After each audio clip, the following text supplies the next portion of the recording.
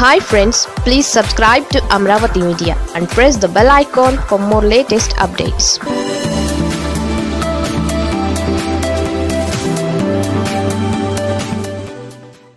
Jagan master ప్లాన్తో టీడీపీకి చిక్కులేనా?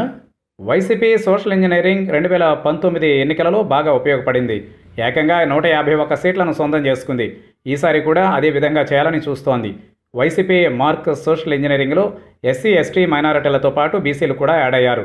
రెండు వేల పద్నాలుగు ఎన్నికల దాకా చూస్తే బీసీలు అత్యధిక శాతం మద్దతు టీడీపీకే ఉంటూ వచ్చింది. కానీ రెండు వేల పంతొమ్మిది నాటికి పరిస్థితిలో పూర్తిగా మార్పు వచ్చింది. మరోవైపు కాపులను బీసీలలో చేర్చే ప్రతిపాదనను బీసీలు జీర్ణించుకోలేక టీడీపీకి దూరమయ్యారు. కాపులు సైతం తమకు ఇచ్చిన హామీ నెరవేరలేదని వైసీపీ వైపుగా వచ్చారు. ఇక గత నాలుగేళ్ళుగా చూస్తే వైసీపీ నుంచి కాపులు క్రమంగా దూరం అవుతూ వస్తున్నారు. అదే సమయంలో గతంలో ఉన్న వ్యతిరేకత అయితే టీడీపీ మీద వారికి లేదు. దాంతో ఆ పార్టీకి కూడా గతం కంటే మద్దతు కాపులలో పెరిగింది. ఇక బీసీల విషయమే ఇప్పుడు ఆలోచింపజేస్తోంది. ఏపీలో జగన్ సర్కార్ వచ్చాక బీసీలకు పెద్ద ఎత్తున పదవులు ఇచ్చారు. కార్పొరేషన్లు ఏర్పాటు చేశారు. కీలక శాఖలలో వారిని మంత్రులను చేశారు. లోకల్ బాడీ ఎన్నికలలో కూడా బీసీలకే పెద్దపీట వేశారు.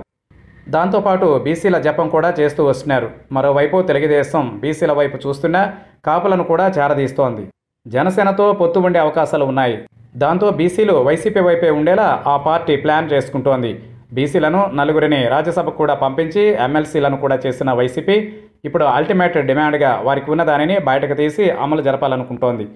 అదేంటంటే బీసీ కులగణన ఏపీలో బీసీలు పెద్ద సంఖ్యలో ఉన్నారు.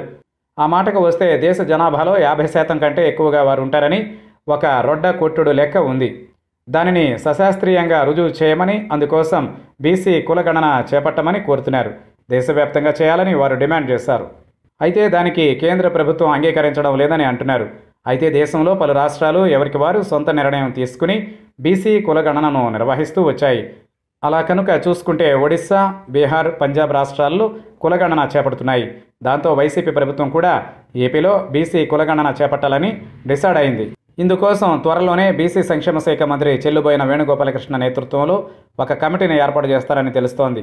ఈ కమిటీ ఒడిశా బీహార్ పంజాబ్ రాష్ట్రాల్లో బీసీ కులగణన ఏ విధంగా చేపడుతున్నారు అన్నదాన్ని అధ్యయనం చేసి రాష్ట్ర ప్రభుత్వానికి నివేదిక ఇస్తుందని తెలుస్తోంది. ఆ నివేదికను ఆధారంగా చేసుకుని ఏపీలో కూడా బీసీ కులగణన కోసం ఒక ఖచ్చితమైన మార్గదర్శకాలను రాష్ట్ర ప్రభుత్వం రూపొందించనుంది. ఆ మీదట బీసీ కులగణన సాగుతుందని అంటున్నారు. దానికి ఒక నిర్దిష్ట కాలాన్ని నిర్ణయించి వచ్చే ఎన్నికల లోపుగానే ఈ నివేదికను తెప్పించుకోవాలని వైసీపీ ప్రభుత్వం పట్టుదలగా ఉంది. ఏపీలో యాభై శాతం పైగా బీసీ కులాలు ఉంటే వారికి జనాభా ప్రాతిపదికన సీట్ల కేటాయింపుతో పాటు ప్రభుత్వం తరఫున అనేక రాయితీలు పథకాలు అందించడం ద్వారా గుత్త మొత్తంగా బీసీలను వైసీపీ వైపు తిప్పుకోవాలని చూస్తోందని అంటున్నారు.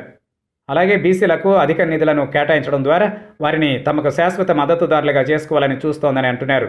ఏపీలో బీసీల పార్టీగా టీడీపీ ఉంది. అయితే తెలుగుదేశం బీసీ కులగణన విషయం ఎప్పుడు ప్రస్తావించలేదు. ఇప్పుడు అవకాశాన్ని తాము అధికారంలో ఉండగా చేయడం ద్వారా ఒక్క దెబ్బకు రెండు పెట్టలు అన్నట్లుగా టీడీపీని బలహీనం చేసి తాము మళ్ళీ పవర్లోకి రావాలని చూస్తోంది. వైసీపీ ప్రయోగిస్తున్న ఈ బీసీ బాణం ఎలాంటి రాజకీయ సామాజిక ప్రకంపనలు ఏపీలో సృష్టిస్తుందో చూడాల్సి ఉంది అంటున్నారు.